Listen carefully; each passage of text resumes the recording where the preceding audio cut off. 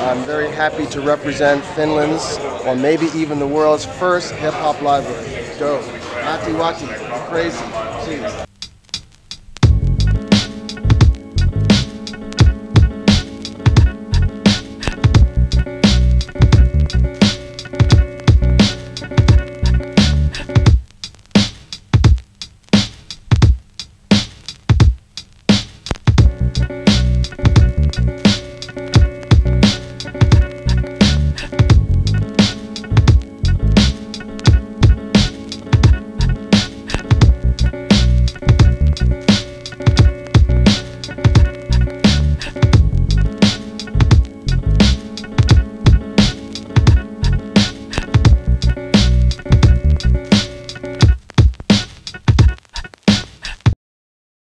Eli Hiipokirjaston avajaisissa olemme nyt ja minä olen Matti Pulkkinen, eli Matti Matti. Ja aloitamme tämän huikean legendaarisen paneelikeskustelun, joka tulee menemään historian kirjoihin ehdottomasti, koska meillä on niin överin mahtava laajalainen tuota, tämä paneelisti täällä paikalla.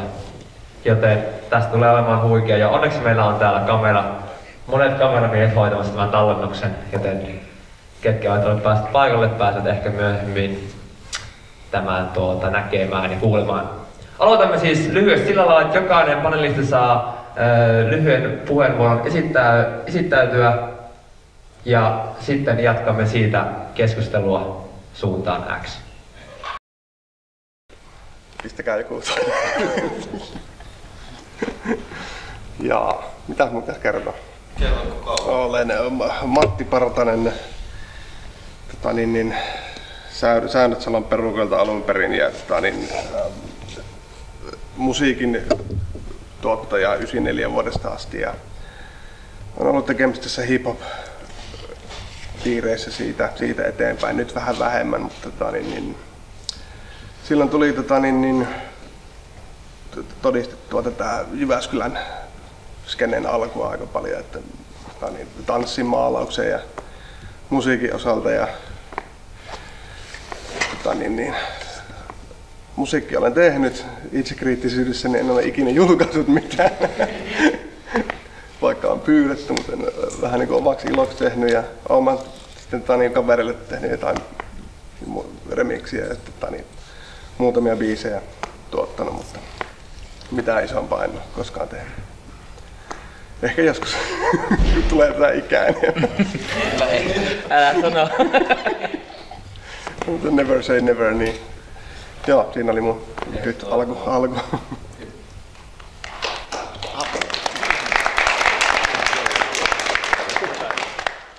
Joo, mä oon Mikko Algren ja tota, on tullut tätä tanssiskenee seurattua niin, niin, vuodesta 84, kun täällä aloitettiin Hillsidella ensimmäinen tanssikurssi. Ja, ja tota, mitä nyt kertoisin, mä ennustin tanssista niin paljon, että, että mä olin lukion jälkeen, mä päätin, että musta tulee fysioterapeutti, mutta sitten mä huomasin olevani tanssikoulun saralla opettamassa, opettamassa streettiä ja melkein mä en ole osannut lopettaa, että, että tulee nyt kohta, niin nyt tulee 30 vuotta, kun tässä on tullut tanssittua, opetettua montaa täällä istujaakin, ainakin vähän jollain lailla, mutta ei tässä sen kummempia, että on seurannut skennejä ja ollut tosi ilo olla, olla tota, näkemässä tämän homman kasvua ja muuttumista Suomessa.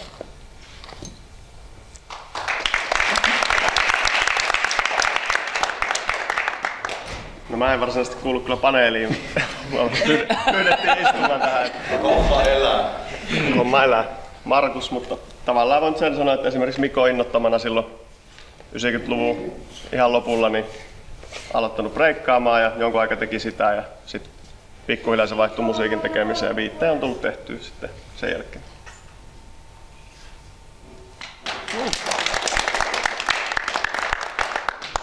Vähän samalla lailla kävi mulle kuin tuolle Makullekin, että tänne tulin katsomaan ja tähän jouduttiin.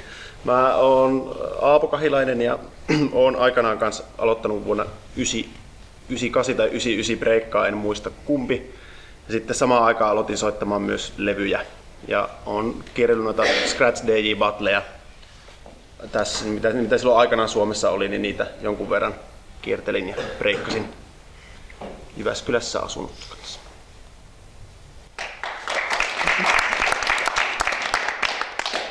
Lauri Lappalainen, DJ Larrenke eli DJ. Parikymmentä vuotta kiekkoja käännelty. Ja vähän tämmöistä promootiotoimintaa, julisteita, flyereita. Semmoista.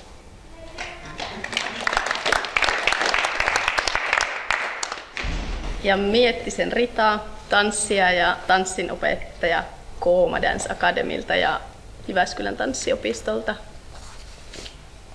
Sellaista lyhykäisyydessä.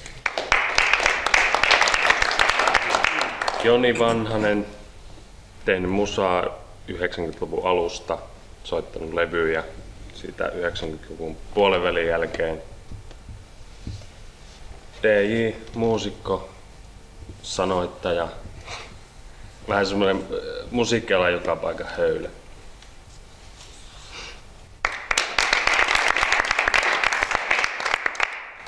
Yes.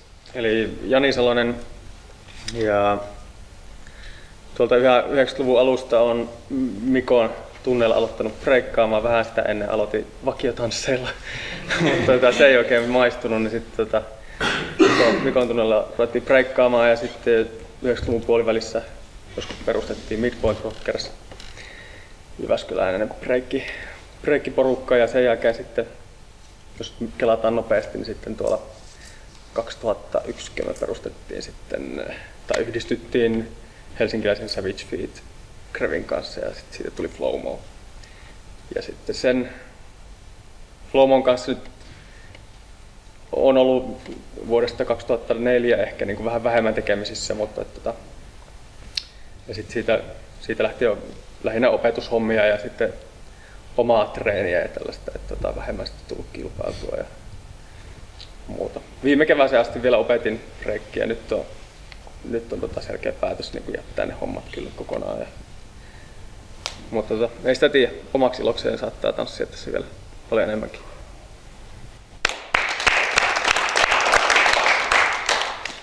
Ossi Valpio ja Aika Pommi ja Soul Valpio nimellä tehnyt räppiä. Jonin kanssa aloitettu vuonna 1999 ja Kasanova eikä Jonne Kuusiston kanssa vähän ennen sitä, mutta meillä ei ollut tuottajaa silloin, niin piti lähteä koputtelemaan Joni ovelle. Ja tota, Joni onneksi vastasi ja päädyttiin kellariin. Eli täällä on tehty ihan ensimmäisten joukossa.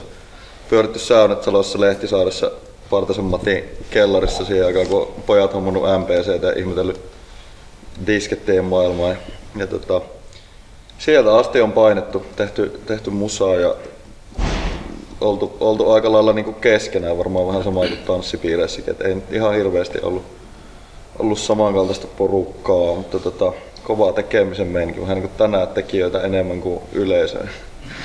Se kuvastaa hyviä meininki. Ja niin, vielä teen musaa enemmän bändihommia ja sitten tapahtumatuotantoa ja nuorisotyötä ja kaikkea muuta mukavaa. Ja itse asiassa Aakrenin kautta on mullekin vähän breikkioppia mennyt, että on Fokukseen 101 pyöritellyt tuossa Kuopiossa vuosi sitten ja vähän noita footworkia laittanut kuntoon, että nyt sitten Arto ja poikien opissa välillä, että tää, tää niin valuu, valuu takaisin tännekin.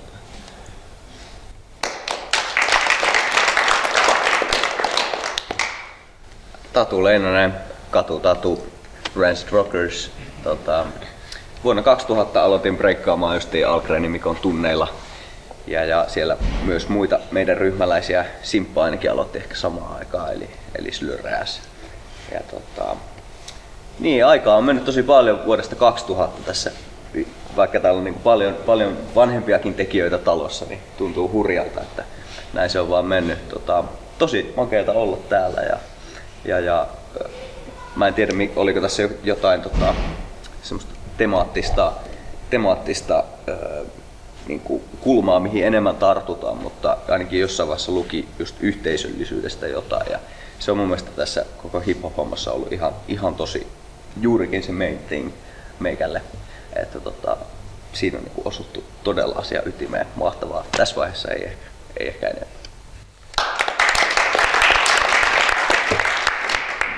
Jees, eli Arttu Rinnakumpu, tota, uh, niin kuin näkyy, ettei ole ikää ihan hirveästi, niin tota, nyt justiin kelailin tässä, että tässä huoneessa on about kaikki, jotka jonka takia mä oon aloittanut tanssimaan ja soittaa levyjä ja tota, piirtelee ja kaikkea muuta, muuta siitä väliltä. Että tota, tosi siistiä olla, olla täällä ja kuulla ihmisten tarinoita ja tosiaan tanssia, DJ ja muutenkin hip-hop täällä ollaan.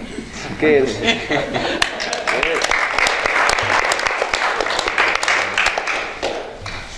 Joni Huikko, olen minä ja 2001 aloin breikkaamaan.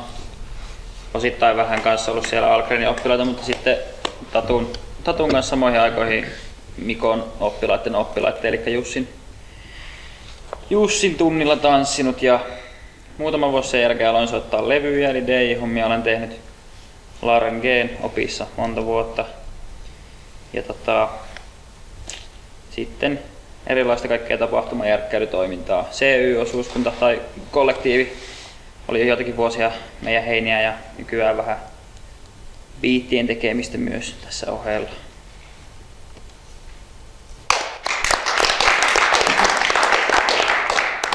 Terve, Jäppisen Jaakko. Tota, vastuussa. Ei, ei, ei. Jyväskylä tuossa graffiti maailmassa niin 96 maalasin ensimmäisen seinän ja sitten no vieläkin mennään. Tota, mä oon kanssa ollut Algrenilla tanssiopissa 99 ja sitten piti lähteä armeijaan vapaaehtoisena alaikäisenä silloin, niin sitten se tanssi jäi, mutta se maalaus pysyi ja olen kyllä aina fiilistellyt tätä meininkiä, mikä tässä hippedihoppissa on ollut. Että se on siistiä, mitä tuossa puhuttiin aiemmin, että jotenkin hauskaa, että samat tyypit, kenen kanssa pyöri silloin pienenä, niin on vieläkin tässä. Ei mitään, kaikkea hyvää. Kiitos. Jes, loistavaa. Kuvaus. Toissa, mie, mie on tänne nyt muuttunut Joensuusta. Mie on viivoi Matti Vatti, menosta Joensuun viivoisryhmää. Ja nyt kaksi vuotta takana Jyväskylässä opiskelen fysioterapiaa ja nyt täällä tuota, tallella paljon pyörinyt ja päässyt meininkeihin mukaan, mistä mahtavaa tämä kulttuuri ottanut tänne omakseen. Ja erittäin hyvät avaukset kaikilta. Ja tosissaan tästä puhut tästä yhteisöllisyydestä, niin tähän ehkä avata Ossi puhui tuossa kanssa, että tähän keskusteluun niin lähdettäisiin kronologisesti aikajärjestyksessä vähän purkamaan tätä, tuota, mihin tämä johtaa.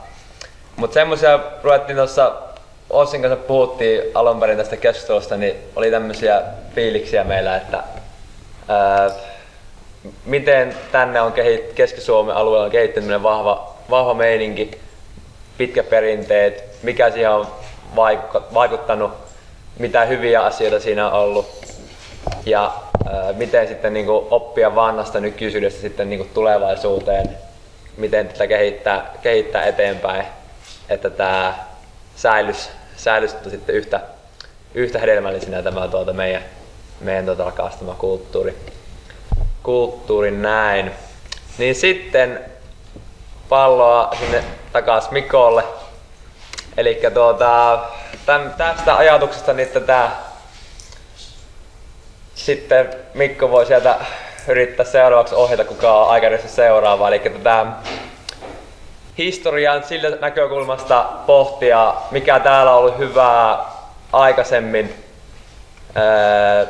tekijöitä, asioita, ihmisiä, fiiliksiä, miten tämä koko kulttuuri on rakentunut, rakentunut, saako Mikko kiinni sieltä ajatuksia, tuleeko Ossilla taikasanoja mieleen? Simsalabim. Simsalabim. Niin, miten se on rakentunut täällä.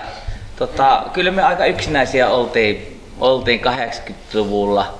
Meillä oli pari kreviä ja tota, meillä oli Spiders. Ja tota, niin, niin, Spiders oli sitten, to, toisen ryhmän nimeä en edes nyt anteeksi vaan muista, muista mutta Lahtisen Kimmo oli Ruotsissa kaverinne opetellut, opetellut breikkiä ja piti meille kurssin ja vuosi sen jälkeen oli sitten ekat breikki SM-kisat ja jotenkin sitten me yhdistyttiin siinä, mehän vihattiin toisemme niin kuin breikissä kuuluu Jyväskylän sisällä. Kaikki kato, oliko se sitten toivakkalaiset tai vaikka.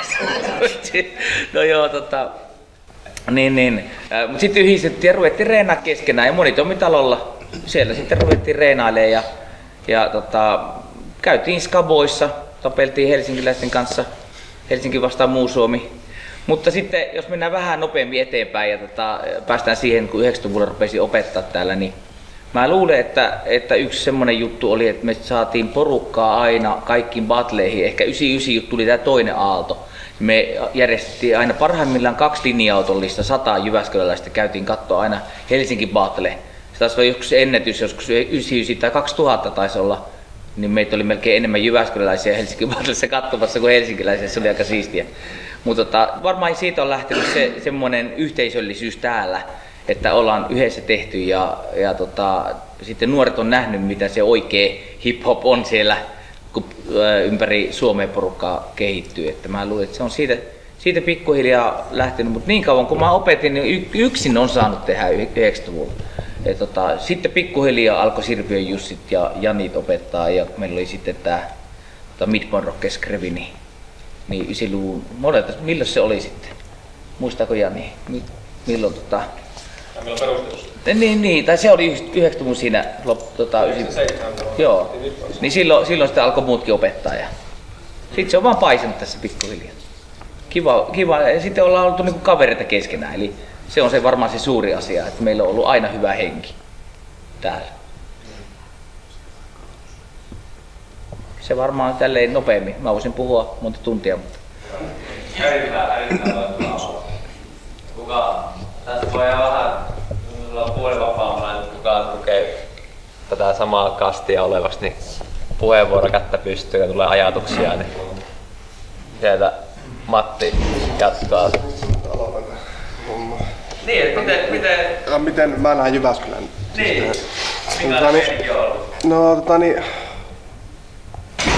mä mun omaa, tota, niin, mä en muista tasan tarkkaan sitä mun omaa kosketusta hip-hop tota, niin, musiikkiin, mutta kuin sen, että mä muistan, että mä menin vi- viikkiluokalla mun kaverin kanssa housut väärinpäin kouluun, koska Chris Cross oli kova.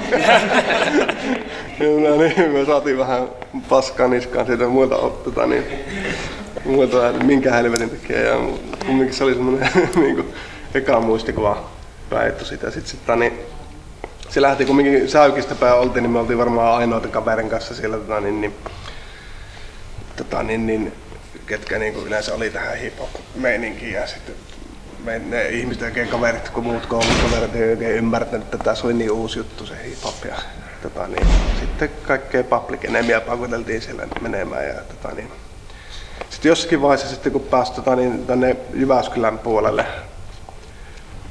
tota, niin, kaupunkiin pyörimään ja oli Hillsidein diskoja ja kaikkea tämmöisiä, niin sitten vasta rupesi niinku löytymään sitä samantyyppistä porukkaa, niinku, jotka enimmäkseen tota, niin vaatetuksesta sitten niinku, huomasi, että ollaan niinku, samoilla, samoilla alta, altapituuksilla ja sitten niinku, pääsi mukaan enemmän tuohon, että löytyy niinku, maalareita ja maalareita ja sitten tota, niin, niin kuin just Jäppisen Jaakko ja tota, niin, kaikkea tämmöisiä. Sitten oli, tota, niin, näitä oli niin paljon näitä ihmisiä. Sitten.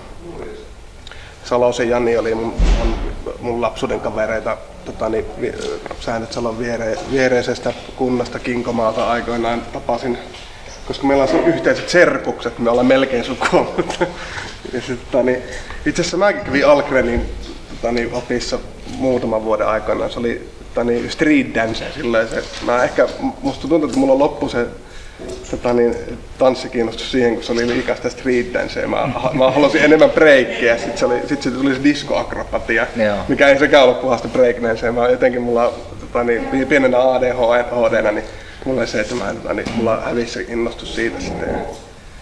Sitten tota, niin, niin, tässä on niin paljon asioita päässyt, että on, on vaikea purkamaan tätä Tota, niin, niin, niin, niin, tästä mennään. Mulla, mulla tuossa tulee mieleen, mieleen kyllä, jos saa tässä keskeyttää, niin tämä hassu juttu, tämä tota, Midpoint Rockers. Et me mentiin Helsinkiin ja 99 sitten voitettiin tosiaan tota, Helsinki Battle, niin sehän oli, ei mitään Jyväskylästä ollut varmaan kuin kaksi tai kolme, kaikki muut oli Muuramista. Tai sitten sieltä päin. Ja oikein. Mm, mm. se tuli vaan mieleen, se oli hauska. Se on kyllä totta. Ja mm. Muuramesta tuli tota, niin, siihen aikaan, ketä sieltä oli sekä ja Tietysti Pasi ja Sirvi ja Lipposen ja ja ja, ja minä ja mun veli oltiin sitten kanssa. Ja, ja, ja no sitten oli Lahe Antti oli Midpoint Rockersissa, sitten oli Jaatisen Mikko oli kans Muurmesta ja Antti nyt oli Jyväskylästä. Sitten, tota, ja Lojanderin Kalle oli sitten myöskin Jyväskylästä. Tota, kyllä se. Sitä tuli tehty varmaan niin kuin, mä luulen itse omalla kohdalla ehkä se, se niin kuin, missä vaiheessa se niin kuin muuttui jotenkin enemmän semmoiseksi elämäntavaksi tai semmoiseksi, niin kuin, että sitä ruvettiin tosissaan tekemään, niin oli varmaan just se 97, kun se, niin kuin se Krevi perustettiin, että siihen asti se oli ollut vähän sellaista, niin kuin, sellaista harrastusta se touhu, mutta että sitä vasta niin alkoi jotenkin ymmärtää sitten, kun sitten tuli just yhteisöllistä sitä kautta, että olikin yhtäkkiä niin oma porukka, jolla lähdettiin niin luomaan uutta. Se oli oikeastaan semmoinen niin selkeä kynnys, missä niin alkoi tapahtua. Et siihen asti se oli vaan ollut opettelemista, niin kuin tavallaan opettelemista ja historiaopettelemista ja, ja sitten toisaalta tekniikoiden ja muiden, mutta sitten siinä vaiheessa rupesi, rupesi niin kuin oikeasti niin kuin ylipäätänsä tanssimaan ja, ja tota, tekemään omalla tavalla juttuja. Se oli meidän, ainakin Midpoint Rockissa oli aika hauskaa, että oli mone, monenlaista tyyppiä jokainen teki vähän omilla vahvuuksilla. Ja itse en koskaan niin kuin, olen välittänyt hirveästi niin kuin semmoista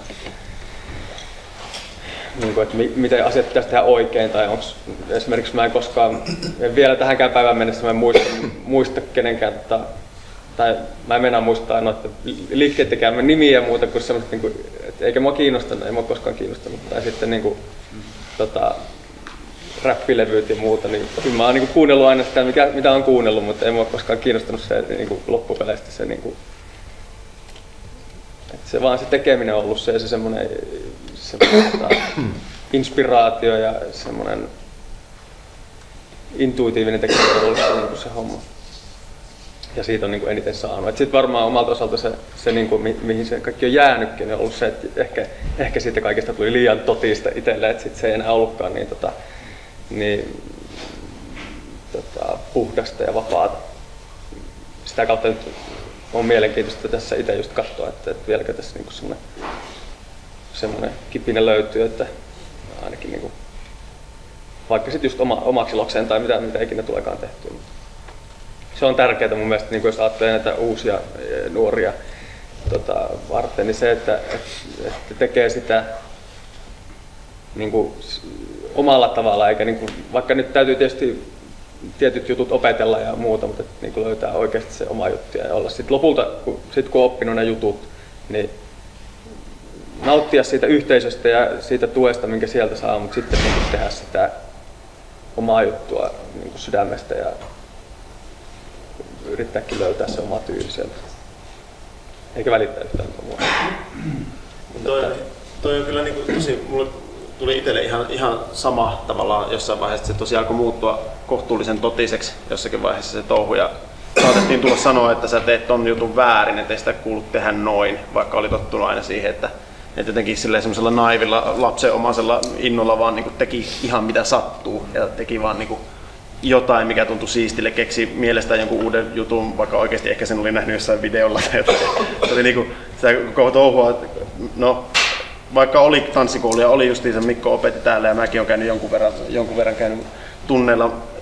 Aika paljon se oli kyllä sitä vaan, että katsottiin, apinoitiin mitä tapahtui Jenkeissä ja mitä tapahtui muualla. Että hirveä kasa videoita, kauhean määrä VHS aina niin kuin jo, jo, jonkun luona katsottiin ja hitsi kun oli freestyle session nelosessa kovaa juttu ja niin kuin aina jotain kelattiin ees taas niitä videoita ja, ja, ja tota, etenkin aivan sille semmoisella jotenkin vaan sellaisella pelkällä apinoinnilla ja sitten semmoisella vaan, että tein kuin perkeikä noho tyylisesti, että ei ollut, ei ollut sellaista ei ollut sellaista oikeaa ja väärää. Sitten jossakin vaiheessa kun alkoi tulla tosi voimakkaasti sellainen niin kuin, että alkoi tulla enemmän opettajia, alkoi tulla, se niin alkoi kehittyä, totta kai se, se niin kuin, tuntui siltä, että se alkoi mennä hirveätä vauhtia eteenpäin, tuli tosi taitavia tyyppejä, se oli niin kuin, ehkä siinä sitten tietysti itse semmoisessa omassa häröilyssä se sitten jäi vähän jalkoihinkin, niin sitten alkoi tulla se, että alkaa mennä aika totiseksi tämä touhu, että ei jotenkin, sitten se jäi se, mutta sitten se TJ-touhu itsellä lähti, mutta sekin oli muista hauska tuossa, kun Jani sanoi siitä, että että kaikilla oli vähän niin kuin ne omat jutut tavallaan, mitä, mitä tehtiin. Että siellä oli semmoisia niin kuin, tosiaan muodostui semmoisia hauskoja,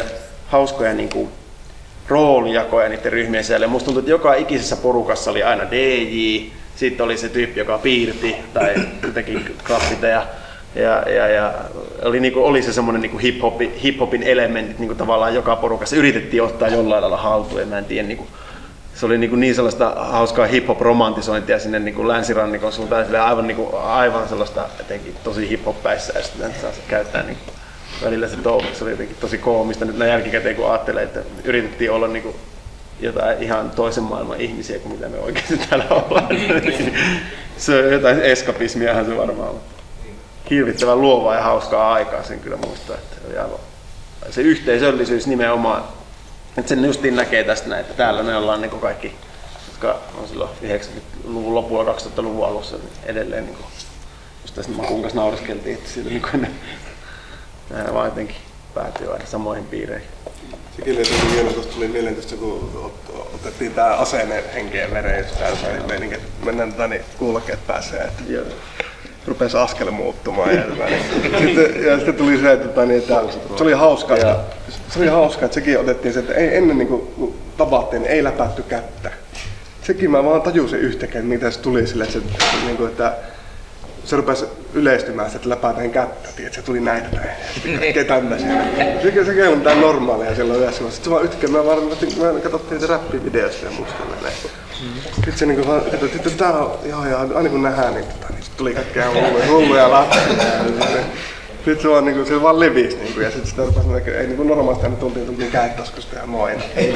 Sitten se vaan yhtäkkiä sitten rupesi tulemaan niin, että mikä käytiin iholle niin sanotusti, mikä suomalaisuudessa ole vähän semmoinen Paitsi oli se 80-luvulla, meillä piti olla jokaisella ne vähät krevit, mitä täällä on, niin meillä oli omat. Joo. No. Ties mistä krevistä on, millä, millä juttu. Joo.